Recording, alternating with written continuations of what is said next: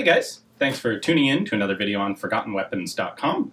We uh, are doing a Q&A today with Othais. I saw that. I saw that. Uh, tell me, Tom. You're you're wearing a uh, a pseudo Forgotten Weapons shirt, aren't you? No, Yeah. there's other people out there with, uh, well, '70s mustaches and um, no, some sort of chin puck. Where did, did you um did you select that hairstyle, or did it select you? Oh, ouch. No, it's okay. I've seen your dad. Well, I have a cool, cool T-shirt too. uh, My patented plastic pokey T-shirt. okay, hold on. Now it's on. Okay, here they're blue. Ah, ha, ha. All right. Now you have no excuse. By the way, both of these uh, were one-offs made by awesome Forgotten Weapons viewers. Oh, So, like individually? yes, Wait, Yeah. why did an awesome Forgotten Weapons viewer send you? because he heard I was going to be doing a collaboration with you. Oh, And he's like, this would be the funniest, coolest thing. I'll send you one. Oh. And he did. Thank you, Alex, by the way. It is awesome. you can keep that. Oh, cool. You can keep that. This is horribly awkward. Okay, so we have a. So, yes, this is a, a Q&A video. Okay. Um, I didn't want to spoil the surprise that we were doing a collaborative thing, so I asked my awesome patrons on Patreon uh, for questions about World War One, because that, of course, has been your focal point for the last, like, four years. Right. Um, and the next one? You're getting close to the end. Um, we have managed to plan out all of 2019 in terms of loans or pieces that we believe we can have operational by the end of the year. So Fantastic. things like that column blame behind you. Um, you know, we we know Bloke on the range and, and Mm-hmm. All those guys, and they have a solution for that. But we're still trying to find a cosmetically correct one that really we're Okay. being picky. Okay. But there's stuff like that that could be done, but it could be done a little bit better. So it's getting kicked down the road. And then yes, I'm aware that the U.S. had a handgun of some sort. We'll get to it later. Did they? It's not worth mentioning. I'm really. pretty sure that we went into the war without a handgun. We just borrowed rubies. There's some the fantastic revolvers that we're talking about very soon. So it occurs to me that there are probably at least a couple of you guys who don't know who this dude is. um, uh, Othais runs or co-runs uh, C&Rsenal, which is a really cool gun channel out there uh, that does fantastically in-depth episodes on specific firearms. And you got kind of tied in early on uh, with the Great War, Yes. doing like the Great War, which you also ought to watch if you haven't already. They've kind of finished their thing, but all the videos are out there, of course. Um, they were based in Germany, and they didn't really have a way to do guns. They weren't gun people. They Right. didn't have access to them. Their parent company was basically scared of guns. And so you got connected in as like the gun side of the Great War. Sort of. It actually was something that we pushed for. So they contacted us about uh, licensing image use, or at Hmm. least for That makes permission. sense. And so, because I was doing articles at the time, and what they didn't know is that I was gearing up for video. Although we were going to have more of a World War II emphasis, but then just sort of do whatever we wanted. We were just going to do in-depth gun history in general. And so when they said, "Well, we're doing this World War One series," I went, "You know, I'm, I'm pretty familiar with World War One arms, well enough to sort of name the major powers and what they had, and a few obscure things like Serbian guns and Romanian guns. I didn't know a bit of that. So I was like, yeah, it can't be that hard. It's not going to be as hard as World War II. How hard could it be? Yes. How hard could it be to have all the weapons of some of the last imperial powers? So I stupidly said, you know, I'll just track along with you guys. I'll start doing a World War One series specifically, and then a combination of OCD and determinedness stuck in because we kind of made a game of seeing how many World War One guns we can really cover. Because when you get to the point that you start getting into the weeds, sometimes you find surprisingly interesting history. There are guns Yeah, that absolutely. I never heard of that tell really fantastically weird stories. and Othais isn't going to say this about himself, but I'll say it. Um, when I do a video, I generally kind of cover the surface level of the history and, and where the gun came from and where it was used. Um, and Arsenal goes far more in depth, and they also shoot every single gun that they have. I think there's there's Mean, there are a few things that you might not be able to shoot, Right. But we're talking really, really esoteric, weird stuff. Yeah, So- we have a plan for if we get to the end and we just really want to talk about guns we haven't been able to borrow, but we've we've tried very hard and succeeded in many ways to borrow some stuff that I did not Yeah. think was possible. So um, it, that's been a big team effort, though. So at some point we need to get into the Q&A here. So I will cut this short by saying if you have not watched C&Rsenal, you absolutely should go watch C&Rsenal. Um, if you are a history nerd, gun nerd, mechanics enthusiast, you will find a lot of very interesting stories in the history of World War I firearms. So there is naturally a link in the description below for the C&Rsenal channel on YouTube. Uh, he does also have a Patreon account, and if you're looking for someone cool to support, that's a good one. I do. You should too. Uh, now, I have a bunch of questions here. Yeah, that That- is rather thick. Yes. Uh, hopefully, we'll get to all of these, but we'll see.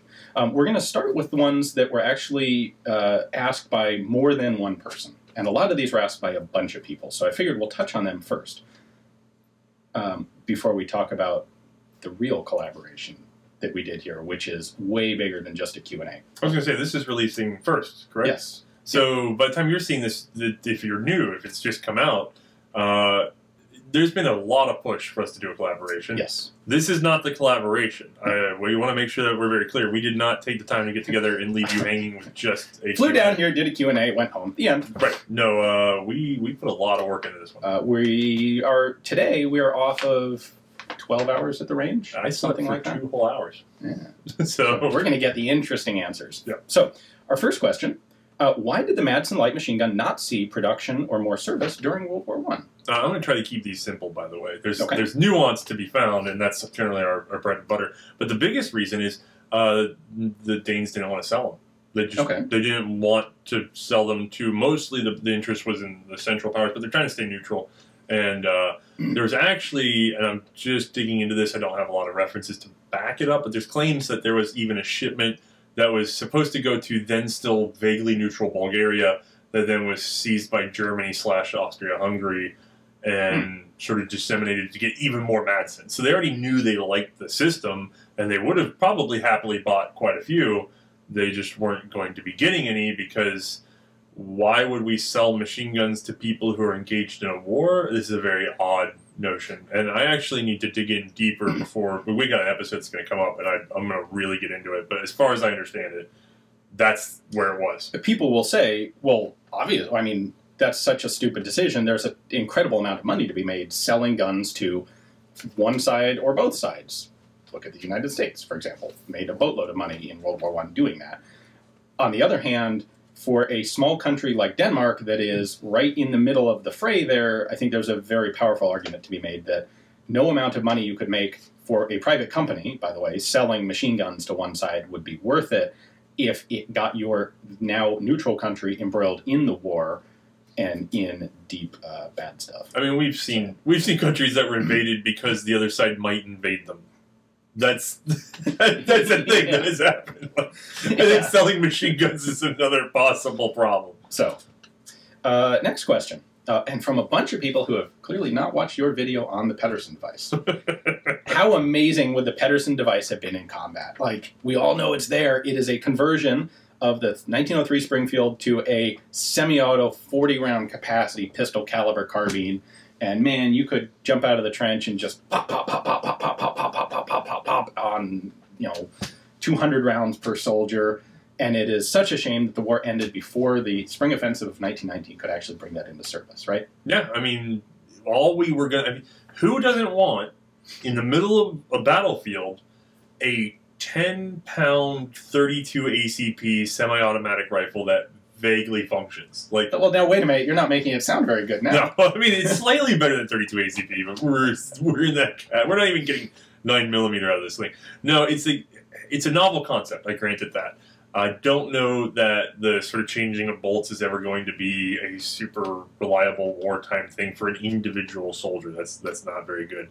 And then the gun itself, uh, we've played with one that we did some minor repair on and, and got running pretty well. But the I've been into the geometries of that gun. They're not good, and I felt a lot better when our friend Andrew, who does a lot of U.S. archival work, came to us and he said, we have all these records from 1919 through 1925 ish where they're retesting these things that have come back from not being used and they're just garbage like they're just the failure rate is astronomical the parts breakage is astronomical the way that things are put together they there's every possibility of a jam there's every possibility of a breakage it's trying to pack a pistol into this way you're you're building a pistol that fits inside of the breech of another gun Right. is what you're doing. And imagine trying to get a handgun that small that would work that reliably. It's not going to go over very well. The exact phrasing you used when we were talking about it earlier was they built a pistol caliber carbine inside the size profile of a Springfield Bolt. Yeah. Which, when you think about it that way, is a phenomenal mechanical achievement. Oh, it's It, It- doesn't quite work. It's still a pretty phenomenal achievement, even not quite working. I- But- Pedersen's mo of just sort of like, can I get the parts to move? Can I get them to stack? And then reliably, uh, reliability is like way over here. Like the actual, like it, it works in theory, so therefore it must apply. Now, uh, in terms of whether it would be cool or not, I actually have a going theory that if we had made it into 1919, we may have actually seen this sort of U.S. exceptionalism in small arms technology that we talk about all the time. We might have seen that fade. Um, we have a mutual friend, uh, the archivist that I met, who is even thinking of working on a, a book, and I'm pushing for him to do this because almost every U.S. small arm for World War One actually had a flaw of some sort, uh, not not simple ones either. And by the way, we see this with other nations. So it's not unique to the U.S. It's just that we sort of act like the U.S. had the best and the best and the best. Eh, don't always don't always believe every secret weapon or every Yeah. whatever is going to be perfect. There is something to be said for having four years of actual combat experience to hone your your ability of to, to produce what actually works in the field. Right. Even like the 1917s had huge serious problems when they first came in. Oh yeah.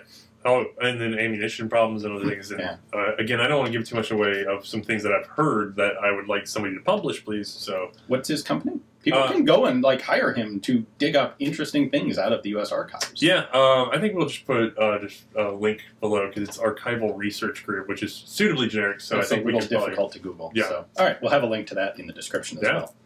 well. He's helped me out with some uh, Oh. U.S. documents on the French RSCs. If I could get him to be in front of a camera, you know what I mean? Like he does a great job.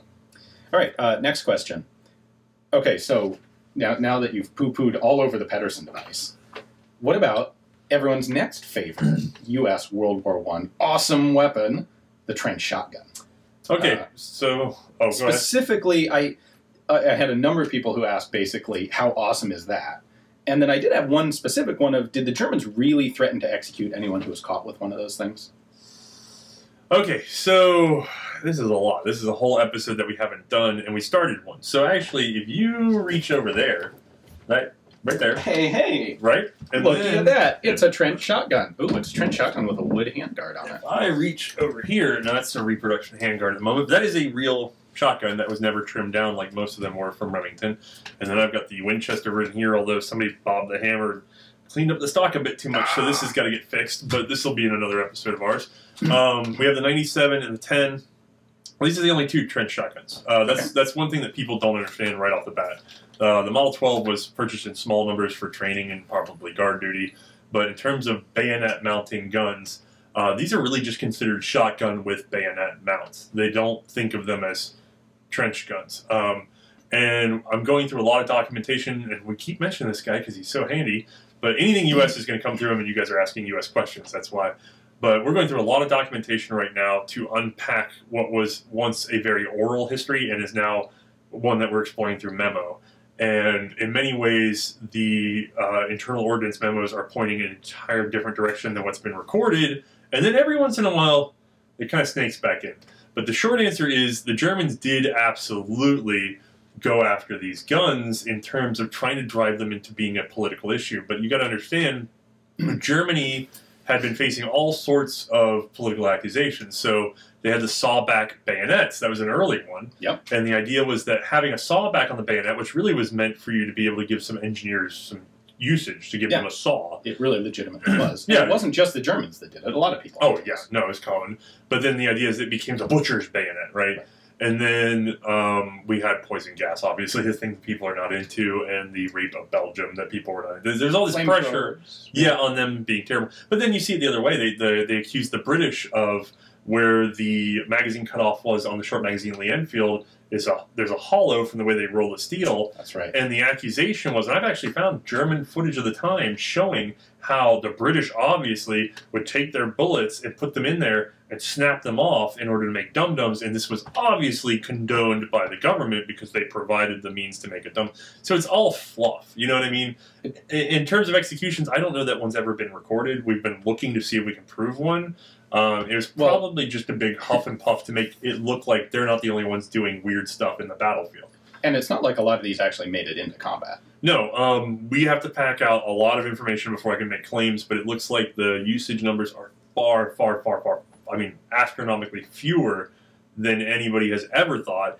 And I'm giving a lot away, but the general consensus. Save some stuff for the. Uh, No, no, no, no. The general consensus on these things is that they were garbage. And that all came down to paper ammunition, and then later they had brass ammunition that was unreliable for separate reasons. But if you can imagine an unwaxed paper cartridge You know, trench. That sounds great. yeah, uh, even just the humidity of the battlefield would Yeah. swell up, so you get your one round off, and that was it. They were they were pretty much loathed because of just the ammunition problems.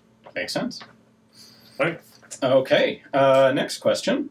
Um, when and I got this one from a lot of people as well, and it kind of surprised me. This was not a question I predicted people would ask. Um, when countries reissued black powder arms, did they make new black powder ammo, or did they work up smokeless substitute loads? Uh, the answer is it depends. Um, we definitely saw right away because the Portuguese Kropatschek was adopted at the, the dawn of smokeless. They immediately go over to a smokeless cartridge.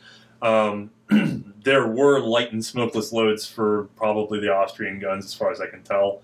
Um, and then I'm trying, I'm struggling because I remember very distinctly I just read that they had done a rework. But uh, there are countries where it's definitely noted that they never got around to it, that they just couldn't figure out what would work well.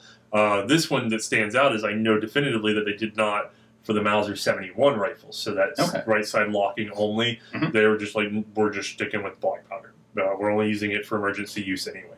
So generally, I would think it was more often that they would actually not even produce all that much ammunition and just pull from long-standing reserves of black powder. Because remember, this is a period where a lot of guns got updated in the 1870s era and then were immediately obsolete within a decade. Right. And they had stockpiled tons of ammunition because there's this European arms race and some latter colonialism. And so they had all this stuff, but there never was. I mean, you, you can't really think of a lot of 1870s large, large, large. I mean, there's a few, but not to the scale of like Well, you've got consuming all that ammo. So there's a lot of reserve in black powder, especially for rifles that weren't used on the front line. They were used for rail guards to have two rounds to chase off anybody that might come around and try to, you know, throw a bomb onto a rail line. right. You've got guns like the 7184, guns like the Gras, were never actually used in a major war. Right. That ammo never went anywhere. I mean, famous guns, but Yeah.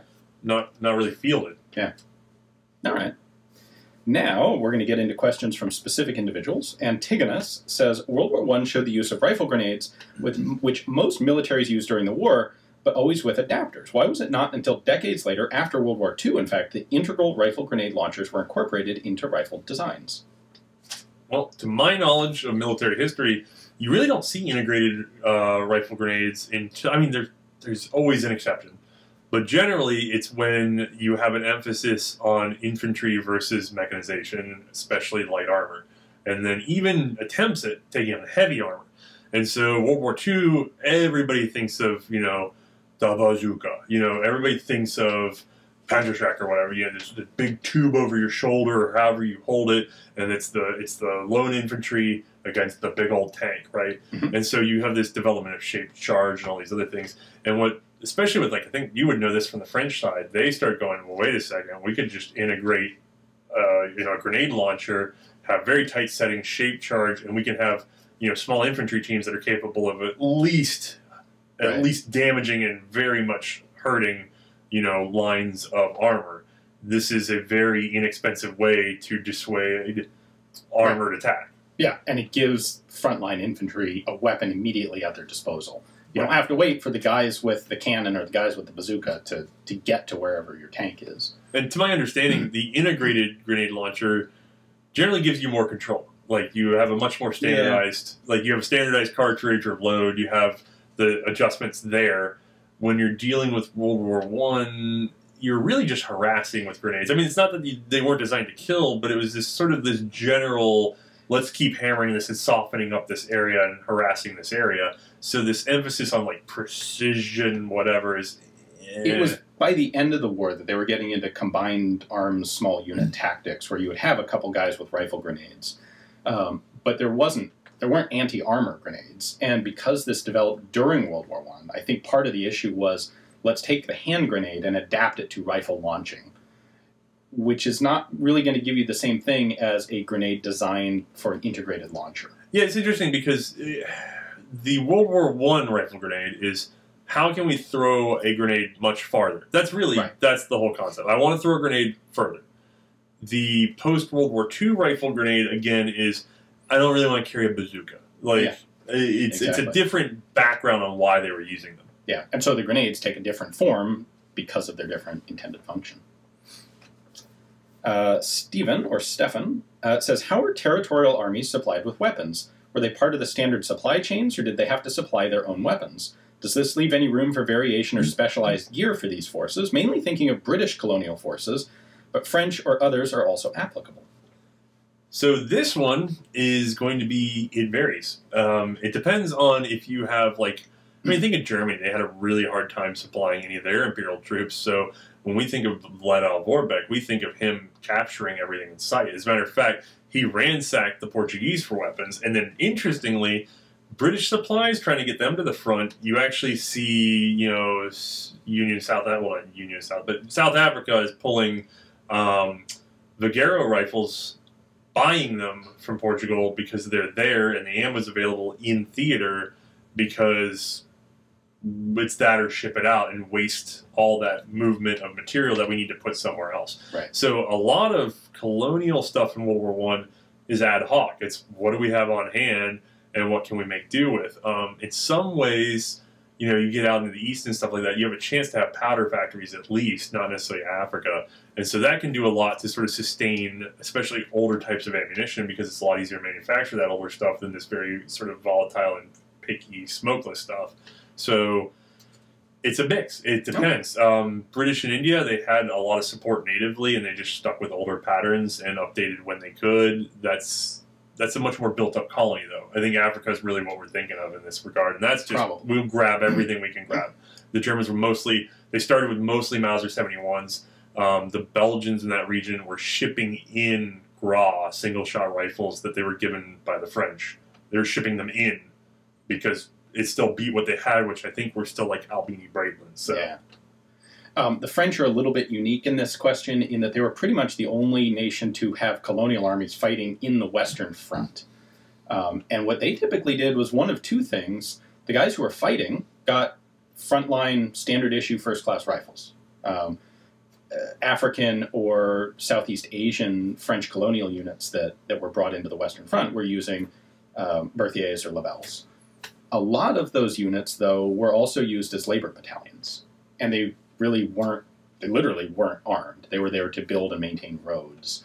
Things that people underestimate. It's not like, it, part of it is we don't trust these people with real frontline combat duties, but part of it also is this has to be done, and someone's going to do it. And so, given our proclivities via race, we're going to have these people do it. And it, Um, by the way, beyond race, you know, not primary language. Uh, do you want to command troops that have, you know, you're unsure of their background, you're unsure what they even understand, uh, you're unsure of the context that when you say, I want this, does that have the same context? However, dig that ditch, you can sit there and watch them dig the ditch correctly or incorrectly, and it's far less consequential. And I should also point out, uh, colonial troops in some cases were absolutely ferocious and, and exceptional troops. Oh, yes. Um, and the ones who were tended to suffer the highest casualties because they were thrown into the front everywhere they needed shock troops. So, uh, let's see. Next up is from William. This is one that I suspect you get a lot. Um, I always see the same pictures of cut down pistols used by tunnelers. Uh, were rifles cut down into pistols actually something that was somewhat common, or uh, did I just get some weird one time deal? So actually, this appears in a couple movies. Is where this starts to come from in terms of people understanding it. But you got to understand two separate concepts here. Mhm. One is the Obrez, which is sort of in Battlefield One, the game, and people really identify with. Like people love Obrez pistols. Um, that's much more of a partisan Yes. Soviet, like, you're not allowed to have a gun. Well, nuts to you. I'm going to saw off the first thing I can find and stick it in my pocket. The only reason you can have an Obrez is because the Imperial Russian government and therefore armies fall apart and rifles end up scattered everywhere and they're not gathered up appropriately. And so now you have rifles laying around. And then later in the World War II era, you've got people cutting them down to obscure them and use them because they've been sitting around. And I think it's worth pointing out that if you were able to bring back and interview every single person who ever actually made one of those and carried it and said, I will trade you that for any pistol, every single one of them would immediately take any pistol you offered them. Right. That's why they did it. There's nothing inherently good about a bolt action rifle cut down to be this long. It's a homemade liberator, is what. It's exactly, Yeah. yeah. So, discounting the Obrez, we do have shortened rifles, which has actually come up before. Mhm. I know of, again, we're back to the number two. Uh, I know of two indications of these guns, and that's all I know of. I know of tons of claims. I have found zero photos. Okay. I have found zero paperwork, essentially. But one of Skennerton's books, who does a lot of Lee Enfield work, Mhm. has noted an account from a field armorer who was asked to take an already damaged Lee Enfield rifle and convert it for use in the tunnels. So actually, this is a good point of evidence. And we're actually hoping to do a video on this sort of thing. Oh, cool. And he did note, he noted, we cut the barrel to this length, we refitted a front sight, and then they removed the rear sight and they notched the clip bridge so Hmm. that they would have a V-notch rear sight. So it had a stock, it had a front and rear sight. It was not an Obrez, it was a shortened gun. Okay. And we know of this one. He doesn't say I did six more. He just mentions doing one. And then up at the Springfield Armory National Historic Site, they have a US 1917 that was found in German possession that had been shortened up to actually about an inch under the legal limit now. Um, and then our friend Jay has made a reproduction of that just over the legal limit, but with the sights in the same position. And I have actually uh, managed to shoot one of those. The problem is there's no provenance other than we found it in 1919 sitting in a German arsenal. So did the Germans capture it and then one of their tunnelers decide to turn it into something? Was it just done on a whim because it was captured in enemy equipment, so nuts to them? and maybe the barrel was bent. Or was it done by a U.S. tunneler and then yeah, it, Right. it could be anything. But we it, period wise, it probably happened on the battlefield, and then we know of at least one named example. So yeah, they existed, but lots of things exist. I mean, I know of at least one photo of a Belgian, you know, road guard with a double barrel shotgun. That doesn't make Double barrel shotguns weren't issued, and it's probably one of four in all of Belgium that somebody bothered to put on their shoulder versus being able to get a hold of a rifle. You know, it's like there's that picture of the Marine in, um, I think, Fallujah, going up a staircase with a PPSH 41. Yeah. And in 100 years, someone will find that picture again and go, oh my God, the Yeah, they were- Americans were so, like, it'll be they were short of arms, so they were issuing captured stuff, and their M16s were jamming, so they were issuing captured stuff, and who knows what other theories will come Yeah. out. Uh, When in reality, it's one dude who went, hey, this is cool, I'll try this. you really want like two or three confirmed points of data for this stuff. Um, and it, people don't like that. They like to hear half of a rumor of an oral history, and then they like to run away with it because it sounds cool. Don't get me wrong, it sounds cool. And we are don't sound cool. we're gonna cut. Oh, Short rifles sound cool. Yeah, short rifles to me, I don't want to know breast, but um, we're gonna talk about it though because we did have a documented case, and we do have Okay. someone actually donated to us a very very poor condition. The Enfield is, is gone, and so we're going to actually try to replicate what we believe this would have been, and then we have Jay's replication. So we're, we'll Oh, talk that's about really it. cool. Yeah. Nice. Uh, Gregory says if the war had gone on longer, especially into 1919, with all the new weaponry that was planned, such as the Pedersen device, the BAR, the Browning 1919, the RSC 1918 carbine, the MP18, the Villar Perosa, and several others I've no doubt missed, how do you think strategy for the battle would have changed, if at all? Uh, would you think there would have been more breakthroughs of trenches?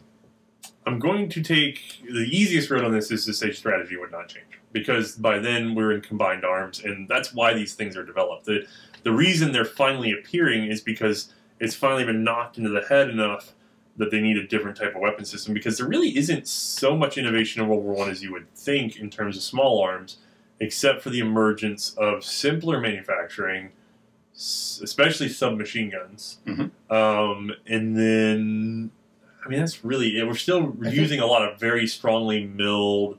You know, it- you're not even seeing incremental adjustments. You're not even seeing people go. You know, this gun did have a barrel sight for for very little effort. We can put a rear aperture. Not even a No. lot of that's going on. It's it's just mass production, and then the only reason to start producing anything different was because you were hoping to help exploit your new combined arm strategy and just sort of oppress and move. Um, and I know a lot of people. I should probably make this point too. A lot of people say, "Do small arms really matter?" Yes, in the in the sense that all the artillery, all the gas, all the planning, the the recon with the planes, the use of tanks, all this other mm-hmm. stuff. Remember, it's all there to support the movement of infantry, who are the only ones that can actually take and hold and move the battlefield. And so you can say, does an incremental change in small arms really mean anything? And it's like, in terms of a few personal lives, it means a lot because a slightly more usable gun means there's a slightly higher chance that person is going to succeed and live. But also, yeah, you're, ultimately your infantry is what That- takes the battlefield. that adds up. Yeah. I would add in that there, aside from the effectiveness in, at a tactical level, there were elements of trench warfare that were changing very substantially. And you have things like um, the German transformation from let's make this fixed, like three lines of, of trenches, and they can't possibly punch through it.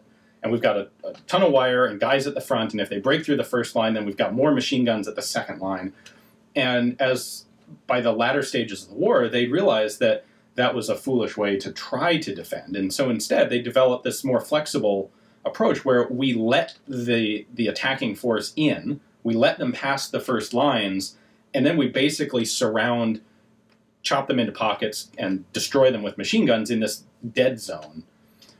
And that the, the changes in those overall strategies can have much more effect than the individual small arms being used. So, like if you had a group of Americans with BARs and 1919s running, attacking a, a, a Hindenburg line set of fortifications, but if they're not, if they don't understand what they're attacking, their better small arms aren't going to help them. They're still going to fall victim to the the intention of that that you know envelopment defense. So it could have had small changes, but not necessarily. No, I don't It's not think an automatic thing. most of the wonder weapons of World War One, like we said with the Pedersen device, were not going to go as far as like I think probably the one weapon I say that did not get to make its mark that really would have changed because you know everybody says what if the BAR got out there and you're like it'd be slightly better in some ways and slightly worse in other ways than the Chauchat. It's it's not, but uh, the German MP18 Yep. that that is a gun that did not make it did not have time to make the impact it should. And after I've handled one that we've actually been rebuilding one, and we're going to be doing an episode. So Cool. we have one that's Mhm. property of the show actually, um, and we're trying to do some investigation with it because not a lot of people are shooting these. There's no Yeah. buffer system. There's no nothing. But when we really got into it, we found there's not really as much milling on that gun as you'd think. It was actually very advanced in terms of rapid manufacture.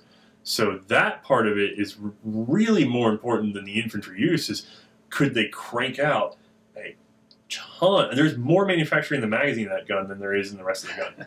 And Yeah, so if they could just makes sense. crank those out, oh man, uh, that's that's where the game changers are. Is just in terms of just adding volume of fire. Yeah, and you see that after the war. The things that really get developed after the war are tanks, airplanes, light machine guns, and submachine guns.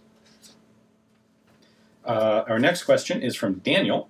Uh, were any of the autoloading firearms available in 1914 or 1915 suitable for military purposes in the trenches, assuming all the logistics get sorted out? Like, could the, the guns themselves have worked? Presumably, follow up question is if yes, why didn't they use them? Excuse me. So we've got some stuff like the Does- Remington 8. Does it? Yeah. Does that say specifically military cartridge? Because that's the that's the hang up. So Doesn't specify. the stuff that worked wasn't military cartridge. It, it's weird, but to make the jump to say 30 six or 8 millimeter Lebel seemed to be a huge leap in terms of making a functional, reliable gun. In a lot of cases, by the time they got there, they realized they didn't even want to be there. So World War II, again, we talk about World War II, they're notorious for these big, full-powered semi-automatic rifles. and then immediately after that, like, what if we just went with an intermediate cartridge? Which, by the way, is a step almost back because when you talk Right. about like Remington 88 or Remington 8 or the um, we talked about the Winchester 1907 in 351. We talked about that and gun. the 1910 as well. Yeah. Those are approximating intermediate cartridges. Yeah. And they work very well at that level because you get the rapid fire, the rapid follow up. Those guns were thrown into airplanes. They didn't even put them, they, Yeah. didn't, they didn't put them on there. I mean, there's hints that they might have put them on the ground, but it really didn't. Must not. If it, if they did, they didn't write it down. and It didn't show a lot of impact. So it's more likely they just kept them in the air. So do you think they could have been effective I think on so. the ground? I think I think it was a.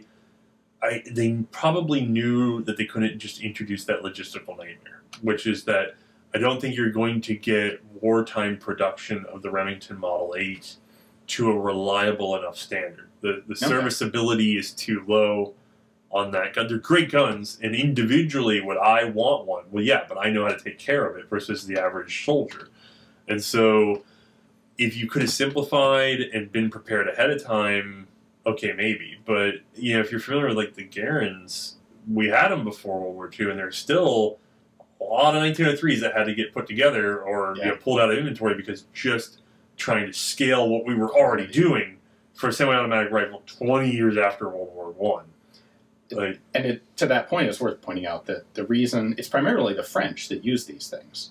And I think it's largely, be, correct me if I'm wrong, it's largely because they had a lot of them around. Because Manufrance, this gigantic catalog based, like a Sears Roebuck and Company, stocked Winchester self loaders. And I don't know if they did so much Remingtons, but they had Winchester self loaders that the Well- French were able to immediately get. the bigger point is that they had the contacts. So they they, Yeah. they had people on the ground in the U.S. that were buying agents that probably came from these organizations that had existed before, and so these guys would start saying, "Do you want this? Do you want that?"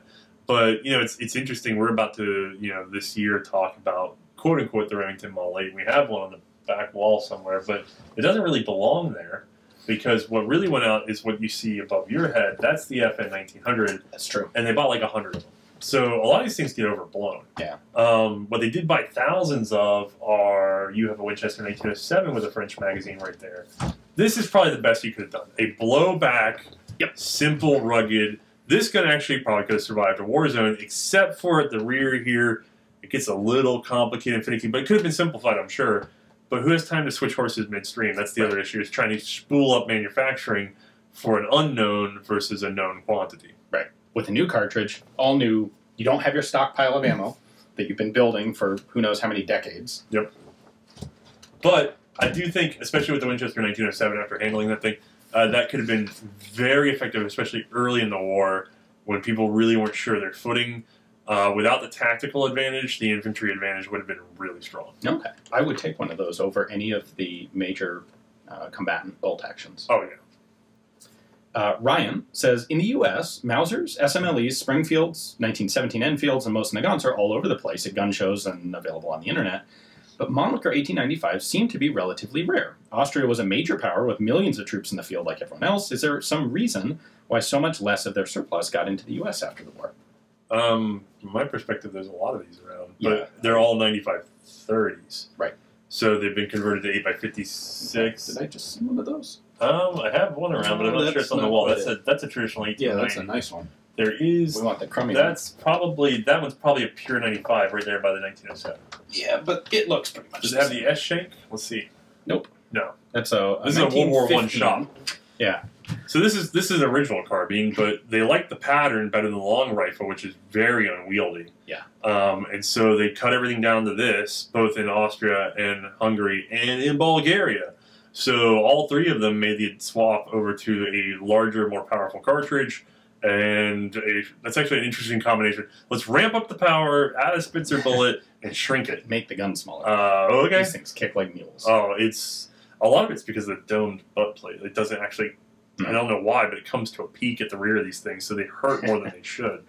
But I think part of the reason is a lot of these guns immediately went into post-war use with all of the countries that emerged from the wreckage of the Austro-Hungarian Empire. yes, uh, nothing like the Balkans to just completely wipe out an entire arms production. Like just used into the ground, various civil wars, uh, unifications. Yep. Um, I mean, then Yugoslavia, and then It's not like, partisan Yugoslavia, Yeah. and then I mean, just everywhere. it's not like a lot of the other countries where after the war they all went into nice clean arsenals and warehouses and eventually got surplus. No, these things got used. But still, plenty of the converted guns did show up. Yes, and then but the second part I think is they use a cartridge that has never obtained any popularity here. There weren't a lot of U.S. troops in these regions in kind of in either war, comparatively Right, to bring them home. to bring them home as trophies. Like that's why we have so many Arisakas. Over a million Arisakas just documented as souvenirs came back into the U.S. after World War II. Yeah, it's kind of interesting. Most of the Austrian ones, like this one, probably. I mean, a lot of the Austrian ones that are still in their original chamber in the eight x 50 Mhm. is because that they were given as uh, repayment programs, especially to Italy. Right. Uh, after World War One, it's like, well, here's a bunch of guns in lieu of money, and then those countries did not do the upgrade programs, and then especially with like Italy. So a lot of the ones that you see actually in the original cartridge are because well, we got into a fight with Italy, and therefore Britain and the U.S. took a bunch of them from Italy, who had taken a bunch from Austria-Hungary. Yeah, that makes sense. Yeah. Back. Next up, I think you need to do more Q and A's with a reference wall of guns because this comes in handy. it does. I can come back. Uh, Dale says if the Entente was to standardize on one nation's arms for better logistics, which would have made the most sense? Oof. So France, U.S., Italy, England, UK. In terms of okay, so there's, Russia. there's a couple ways to think about this, but the number one thing that stands out to my mind is it would have to be a design that was currently produced in the U.S. because That makes sense. the just the sheer raw manufacturing power in a place that was not being bombed or threatened. So it would need to be something that was in production in the U.S. Among the guns that were available in the U.S., I think in bolt action terms, would probably favor P14 1917. Okay. Now, to me, it's an obvious choice for 30-06 and the 1917. Is there any reason to go with a rimmed 303 cartridge if you're going to standardize? No, it's only if we're talking about standardizing on a current member nation's cartridge because I ditch any rimmed cartridge right away. Um, technically, there's Entente, like there's technically you know members like Belgium who had 765 M- Mauser. I probably might have favored that over 30-06 in this kind of conflict. A 1917 Enfield and 765?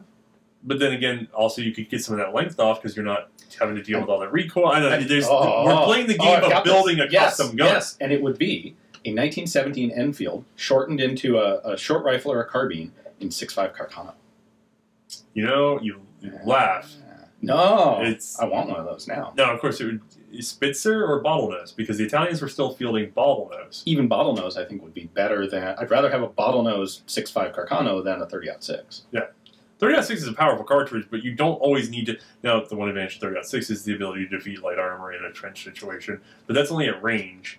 In actual combat, like getting into the trenches and moving, Can, can you imagine a Lewis gun in 6.5 Carcano? Oh. again, I mean, there's special roles. There's special roles for machine guns where they actually want to punch, and in in Yes. World War II, we do see them ramping up to punch harder. So Okay, maybe not. how about a BAR in 6.5 Carcano? Yeah, something like that would be pretty good. Yeah. But regardless, um, I'm saying something in the Mauser family with the Yeah. rear aperture sight is going to be very powerful. Um, uh, If we just say aperture sight rimless cartridge, Yeah. that leads to, that the only answer then is the 1917 Enfield. Yeah, and it, by the way, beautiful system. Once it was tooled up for production and ready to roll. Yeah. So, yeah, Cool. I'd go that route. So would I. This was suggested, not this particular thing, but there are notes that uh, there were suggestions to go. The U.S. should go over to 303, and then that way have a common cartridge. It's sort of an early NATO idea, essentially. Yeah. Uh, that was poo-pooed immediately, and I, can't, I haven't even been able to find the reasons why. It was just sort of like, why? They didn't even have reasons. Like, Yeah. of course we're not doing that. No, we're Americans. Why do you think we threw them out Right. 150 years before this? Uh, Dylan says, "I've heard captured Russian M95 Russian. I have heard that Russian captured M95s were often fed with Russian 7.62 by 54 rimmed, and I've heard of Nagants chambered for 8 by 50 Austrian. I find this thing fascinating. What other capture converted World War I rifles and calibers are there? there are a number. Um, I think we have. I'm not even gonna reach for that, but we have a Belgian 1889 Mauser that was converted to eight millimeter Mauser from 765. Extremely easy conversion, which is why it was done. Yeah. Um, the more difficult the conversion, the less often it was actually done. I mean, I've seen Mosins that were, you know, we could push it to this cartridge or that. We can push it to. Well, Bannerman had the 30 six ones. That's not really the war. yeah, but- these aren't wartime, and the the eight millimeter Polish ones aren't wartime either. No, but the conversion, the attempt to do that is it's a lot of work, and so it's easier to just go with captured ammo or to make the ammo in small batches because converting versus just cranking out some of the ammo or buying it somewhere or getting a hold of it somehow and then using it in the rear where it's not being consumed way easier and all you do is you free up a gun that was in the rear that uses your ammo and you put it up on the front line Yeah. but you know there's a there's a lot of conversions from during the war and i mean if you want to reach back you want to see a weird conversion um, it's not even a capture it's an internal conversion the martini over beside you that is just freaking weird This guy? no, the martini uh, keep going keep this is the first tall one i showed you this yeah. one Oh yes. this is actually from 1912, from before the war, because uh, the Ottomans were having trouble with the Balkan Wars. But this is a This like is- Peabody Martini that was in you know 11 millimeter black powder. This has been converted to 765 in the U.S. We tend to call it Argentine, but it's the Belgian Mauser cartridge. 765 Mauser. Yeah, so this is a smokeless powder, rimless cartridge Martini. It actually has a spring-loaded ejection. Thing. I mean, it's really complicated in there to get this to happen. So, I mean, anything can happen. We certainly have. Uh, there's even conversion guns from the Ottoman 1887s that are believed to have been converted by Bulgaria to 8x50 rimmed. We don't know. Uh, it's just believed that Bulgaria did it. We, we're not sure where they came from. We just know they exist. They seem to exist in the market, and it seems like maybe they came out of World War One. We're not sure. Uh, there were also some converted machine guns, especially some of the Maxims, because they are very easy to Yes. convert. Oh, yeah. You swap the lock. You know, you do maybe. You can basically drop in standard commercial parts Right. and make it into a different caliber without having to go through any of the sort of re-engineering. that might not even be a conversion in this case, though, because the Maxim was designed to be sold that way, so that you could just set it up for whatever country that you were selling it to. Right. I mean, it's conversion, but yeah. Right, exactly. But you know, we've heard of That- Lewis. that's why they did it, is because it was easy and reliable. We've heard about Russians, you know, converting Lewis guns to 7.62 and things like that. Um, the problem is you have to run down each of these claims, and off the top of my head, mm, other than like the Belgian 89s and things like that, where there's a pattern, Right. It can be pretty hard to lock it in because the numbers we're talking about are usually below like 2,500 or something. Like it's some small number. And in World War One terms, that's very That's small. nothing. Yeah. Yeah.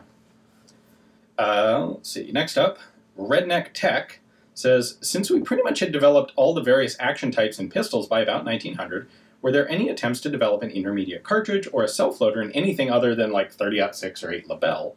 It seems that between about 1890 and 1940, the world forgot they could make a cartridge any size they wanted to. I think we kind of covered this a little bit. Yeah, there were a few. commercially available, but uh, most you you know you should know this story. 351 Mhm. uh, turned into an eight millimeter for the For the French, yeah for the Ribeyrolles. That was uh, a whole concept. and it turned into a Spitzer bullet experimentally for the Americans with the Burton rifle. Yep.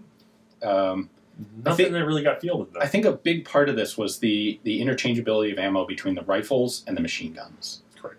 And they didn't like it wasn't worth deprecating machine guns to have a, a- a lighter and more handier infantry rifle. And it definitely wasn't worth having two different cartridges to deal with. no, until you have fully automatic portable arms, sub well not even submachine guns now we're a pistol cartridge, but we we got to get into around what you would call an assault rifle before people really start to care about having a rifle cartridge that is not Yeah. the same as the, the light machine gun or machine gun that they'd be carrying around. Uh, next up, Andrew says, given its characteristics, would you consider? Well, this actually is basically a follow-up question. Would you consider the Winchester 1907 slash 1910 to be one of the first true assault rifles, and how successful was it in military service? So here's the thing: it gets claimed to be an assault rifle because intermediate style cartridge, light automatic is where we get stuck up on that. Because I know from our friends at Cody that they did produce at least some trials models in full auto, and I've seen claims by certain authors that the French and Russians bought them with select fire. And I've been trying to track that claim down for. It sounds like they really didn't. I've been trying for two years to track down the claim.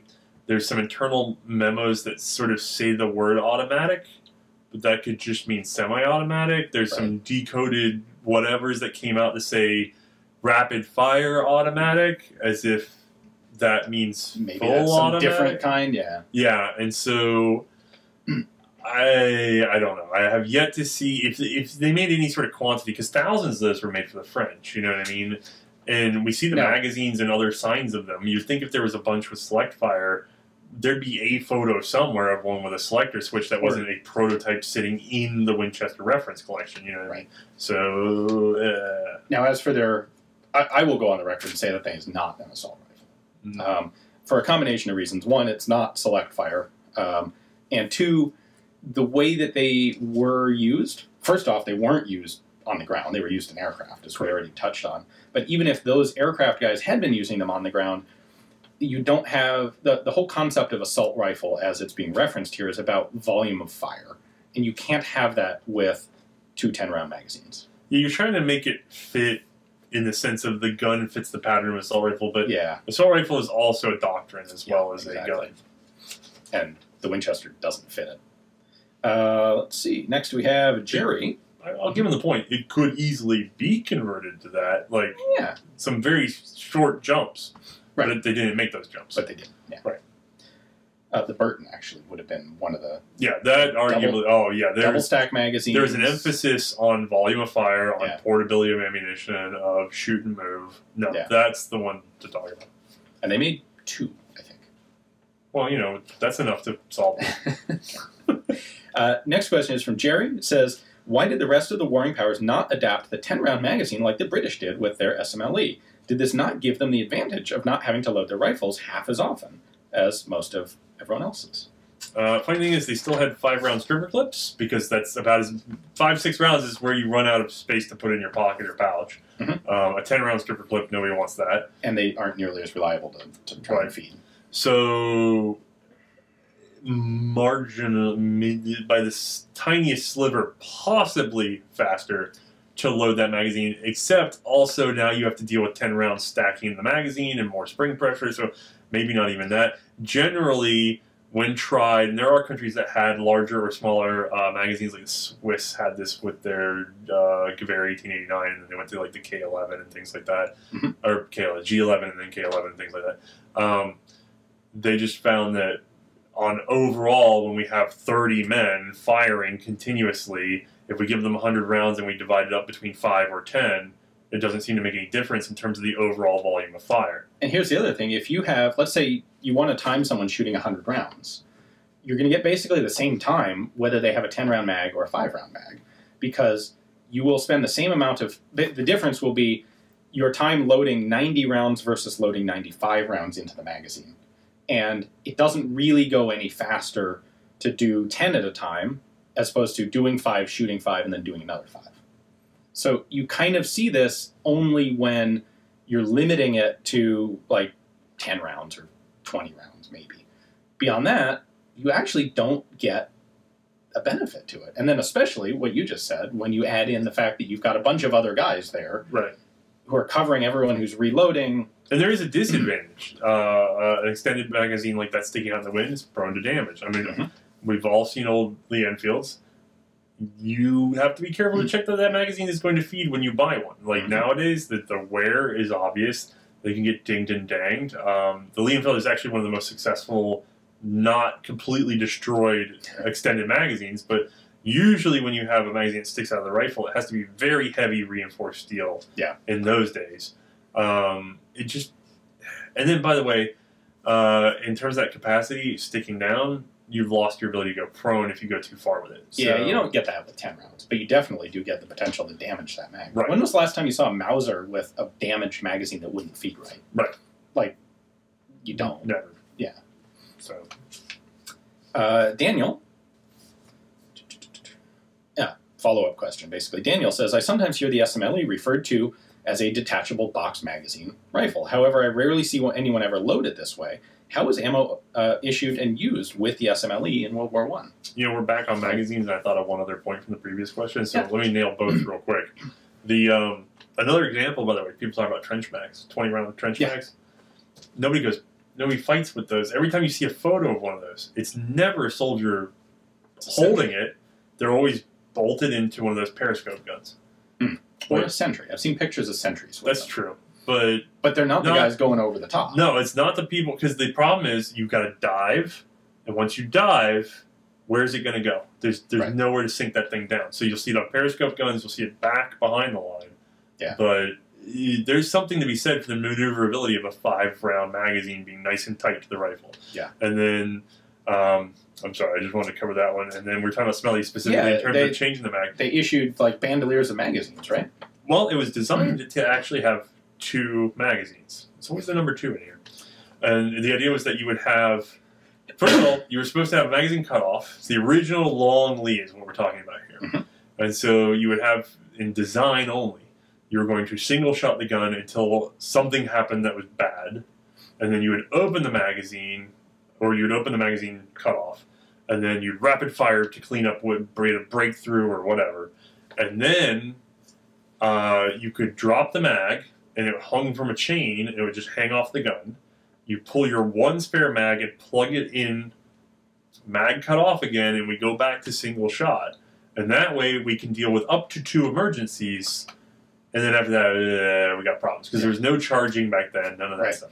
So that was in design. Never actually released that way. They just ultimately ended up keeping them detachable for the sake of cleaning and maintenance. And because that's how the gun was already being built. Right. It's Inertia. It's interesting to note when the U.S. Navy bought Remington, uh, was it Remington Lees? I think um, they did actually issue them with belts of four magazines, and they kind of did that. But that was the U.S. Navy, and they were in 4570, and I think there were four or five round magazines. Navies always tend to start thinking ahead about stuff.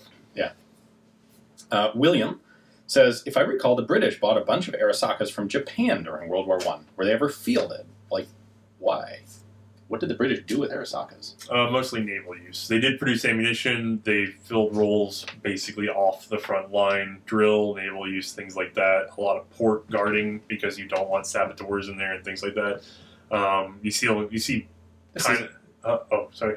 uh, this is exactly what we talked about a few minutes ago with with the conversions. Oh, yeah, buy some ammo, buy some rifles, give them to someone who's not really going to use them but has to be armed, and then all of the Navy's Lee Enfields can go to the front. Yeah, and by the way, the, it would have been a cinch to convert to 303 on those guns, I believe. Like, not perfect, but they could take the stress of it.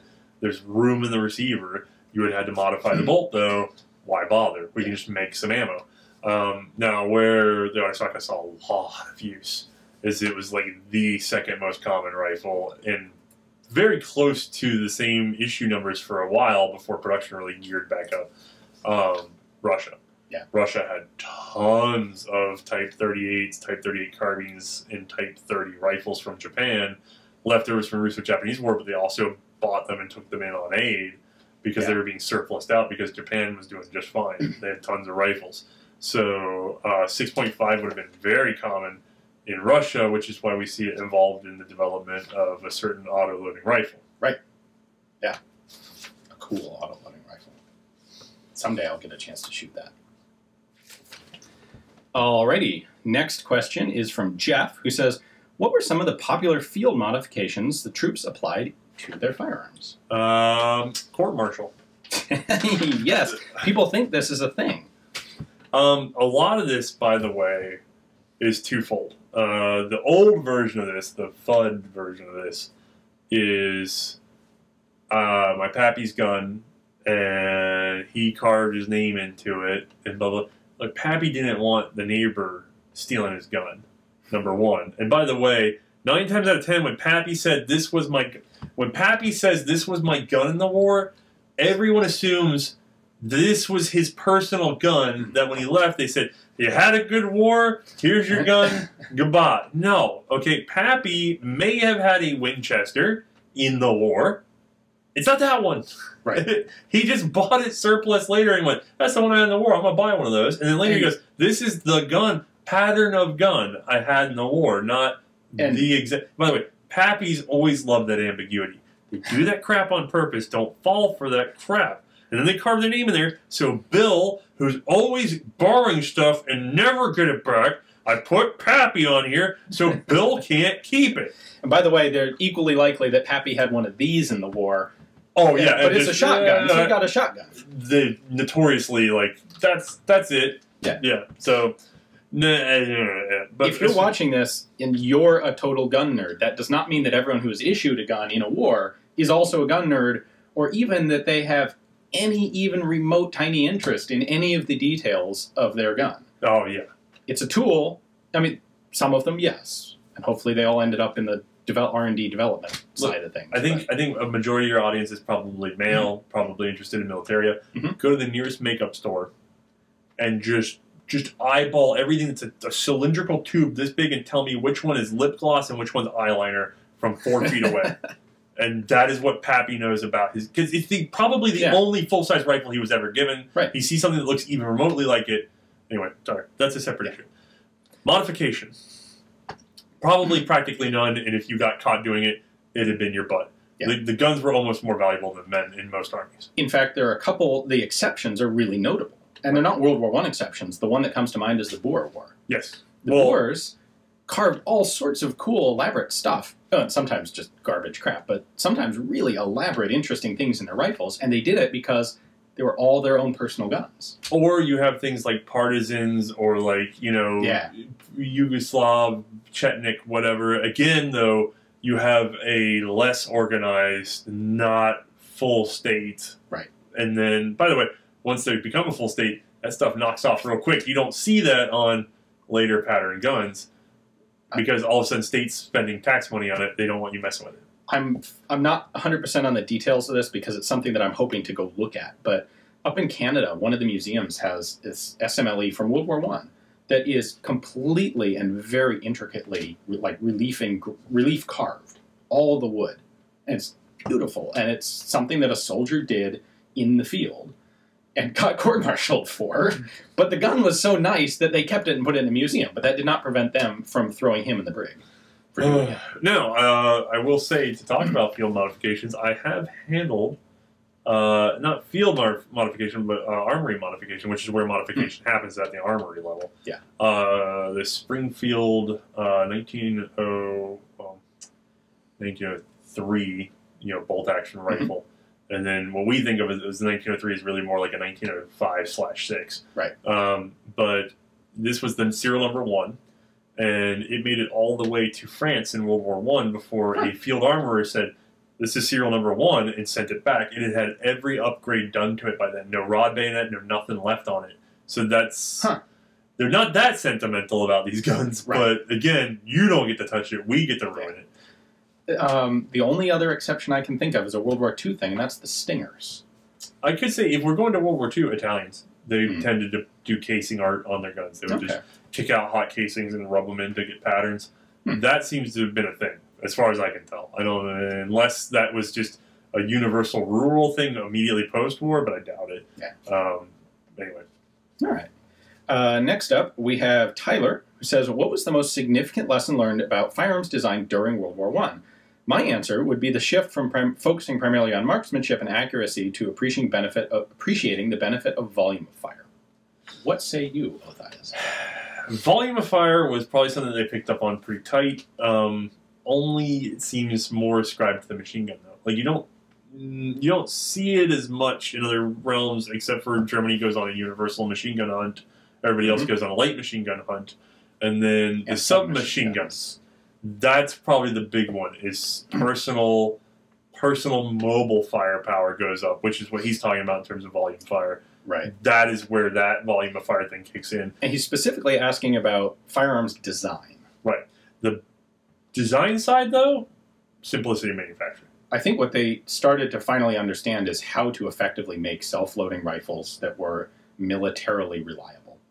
How to go from commercial stuff like this, Yeah. that's awesome, but you don't want to field strip that in a trench. I almost feel like this is the inkling in World War One, but it really does take Oh, another decade. It takes a while before we see it in self-loading rifles, but you see it in submachine guns. True. Like this idea of you don't need a locking system. You can have a tube and a big cylindrical bolt and a magazine, and just let it slam back and forth. See, that's my biggest takeaway from World War One, though, Yeah. is mass production.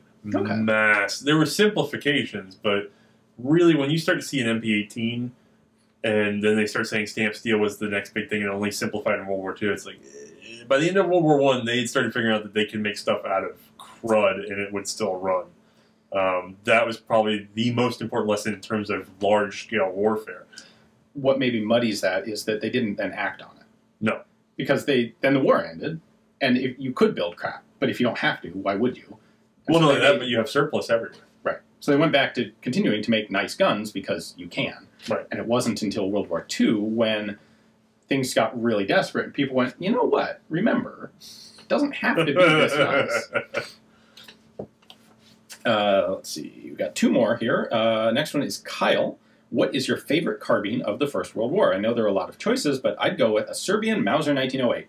It is svelte, handy, and chambered in one of the milder rounds of its day, the 7mm Mauser. I actually love the seven millimeter Mauser cartridge. Uh, it's pleasant shooter, and then that is a very weird pick, by the way. Um, It's most people are not aware that there was a Serbian 1908. It's probably one of, if Yeah. not the rarest possible gun that you could pick from World War One. Where So I could he don't maybe, think where could he maybe have seen a video much on said rifle? a chance. Well, it hasn't been released yet, but uh, maybe Ah. maybe by the time of this thing. But um, yeah, I can't imagine where anybody would ever lay their hands on one of the. Thank you, by the way, John Clear, for learning these things. um, yeah, these are handy little suckers. They are really nice. And if I had to pick a bolt action carbine, this is pretty high up there on the list. So uh, this, or I could even say like I'm on like a Schonauer carbine. Those are fantastic five round shots, smoother than this gun okay. and I do not hate a 6.5 bobble nose any more than you do. Um, so maybe like a Greek Mon, like a Schonauer or something like this would work just fine for me. Type 38 carbine? Uh, also, an extremely good gun and one of my favorites in terms of being buttoned down for water and mud proof. However, not quite a cock on. 90% cock on close, a little 10% cock on open, and the cock on close is not that smooth. It's the one thing I don't like about those guns is that if you're trying to rapid fire, they really want to push off the target mm. more than some others. That's true. But otherwise, extremely superior. And I take it over a standard, you know, Mauser carbine in many ways in terms of sheer reliability. 6.5. It's a carbine. Yeah, if it weren't for the problems with the en bloc clips themselves, like not always being perfect, that is extremely light and extremely handly and underappreciated. I mean, it's not. Underappreciated, but I think the Mauser's better. Yeah. Oh yeah.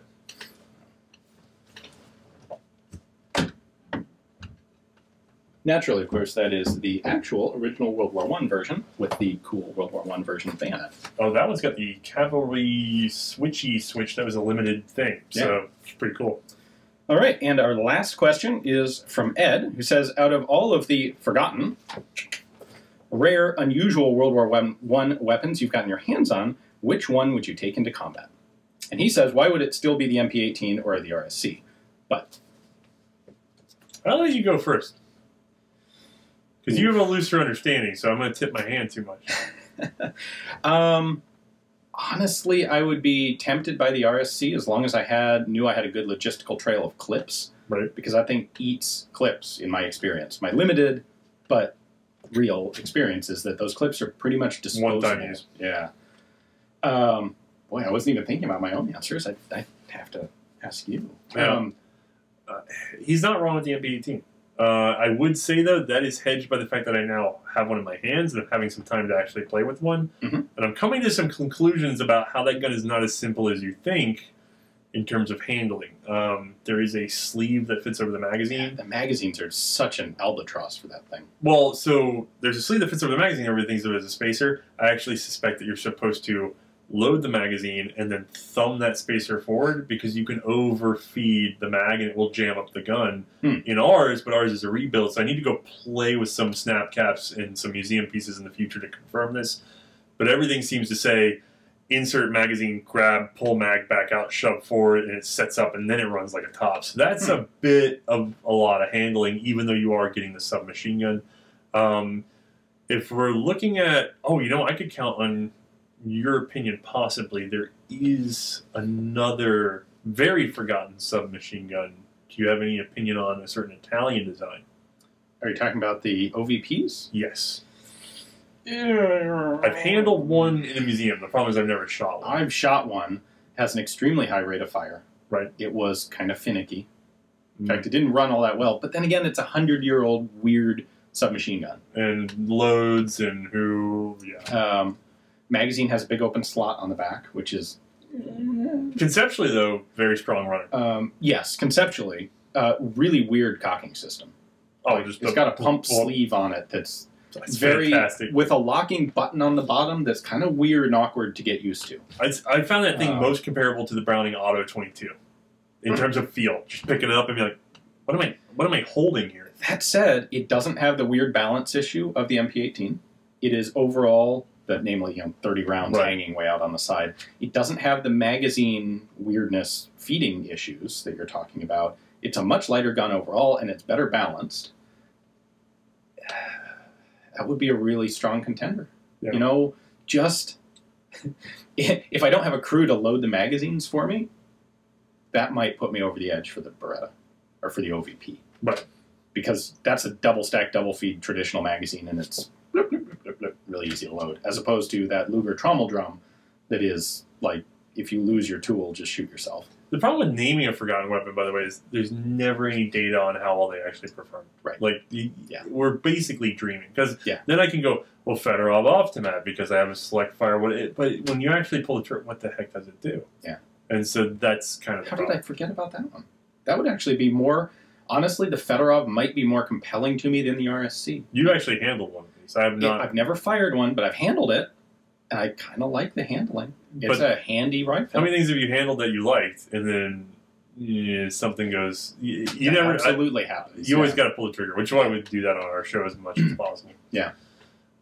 Okay, So- so that's a good one to round out on, right? We'll both run around with uh, Fedorovs and OVP 1918s. I, if I was actually drawn into war, would be picking stuff that was very well proven. Yeah, uh, Winchester 1907. Yeah, very, very high contender. Better than a bolt action, but you're pretty darn sure it'll actually work. I mean, technically, some FN 1900s made in there, and I've had a lot of luck with that in the Remington 8, although I think a little more susceptible to it than I like. Yeah. But with a little work. But again, this is all conjecture. In the long run, I would take a good, reliable bolt action in that period with what autoloaders were doing. Enfield 1917. Yeah. All right, there it is. Um, so, uh, thank you to everyone on Patreon who made this possible. It's you guys that supply the questions. I, like I said, I didn't want to spoil, give away what we were doing here because we have a big project that we are working on. I don't think I've ever spent so much money in my life, let alone It's an everything else. expensive project too. Yeah. a Um, lot of ammo. It, a lot of machine guns go through a lot of ammo, which costs a lot of money. Yeah, so So- we spend a lot of days in the sun. When we're not done, we're we're done filming this. We right, we have to film go something do some more else, of that now. and then now we got to make up some time to film some other things. To oh my god, this is a nightmare. You want to tell people anything about uh, this? Yeah, um, at this point, it's probably pretty clear a that couple little teasers out we've there. gotten our hands on like every light machine gun of the war and most of the auto rifles. Yeah, So I mean, basically everything up to the rarity of a Fedorov we have. Yes, um, that's pretty much the only thing that I could name. And again, I don't know that it saw any sort of standard issue. I, Oh God, no, it didn't. Right, and so everything we have, at least, so if it saw a standard issue, Yeah. and it's arguably a light machine gun, it's We it's- got it. Yeah, It be here. so that was it was too much of a a uh, convalescence of of things that it was like Ian, get over here. This is the chance to do this. So um, there's a lot of content coming. Yes. Uh, you will be seeing the results of that project over the course of about a month, and it will be on both channels. Half of it will be on Forgotten Weapons, and half of it will be on C&Rsenal. So assuming none of us catch fire or die between then. true. It's not quite all filmed yet, No, I although it will be by the time people see a this. very tiring day ahead of. So, anyway, uh, big thank you to all of you for tuning in. If you haven't watched anything on C&Rsenal, you should definitely head over, check it out. Othais's depth and research is fantastic. Uh, and hopefully, I'll come back and do some more collaboration with you again in the future. Yeah, thanks. Thanks for watching. Ah.